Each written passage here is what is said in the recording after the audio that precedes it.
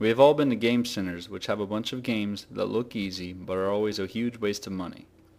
Before dropping some dough on that, make sure you try out CoinDozer Asian New Year and see if that fills your curious desires. This app has actually made me want to try out a real CoinDozer. The game's objectives is to drop coins at the top where the lever is pushing forward and back. The game gets pretty technical because of the physics of this game are actually really realistic. You must aim your drops wisely or else you will waste coins.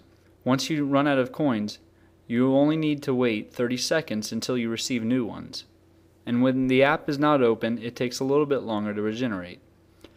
This game is really fun and is addicting because you can go for days of no play and you'll come back and you have a lot of coins to drop. The biggest part of the game is to get prizes that randomly spawn.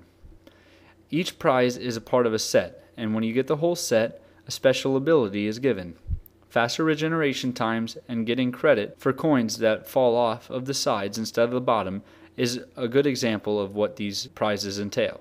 CoinDozer Asian New Year is really fun, and I would suggest getting it since it's free. All CoinDozer games are pretty much similar to this, but with just different themes. But out of all of them, Asian New Year is the most fun.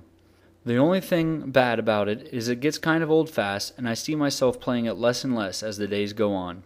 But I still think it is a solid game, which is why it receives 3.5 stars out of 5.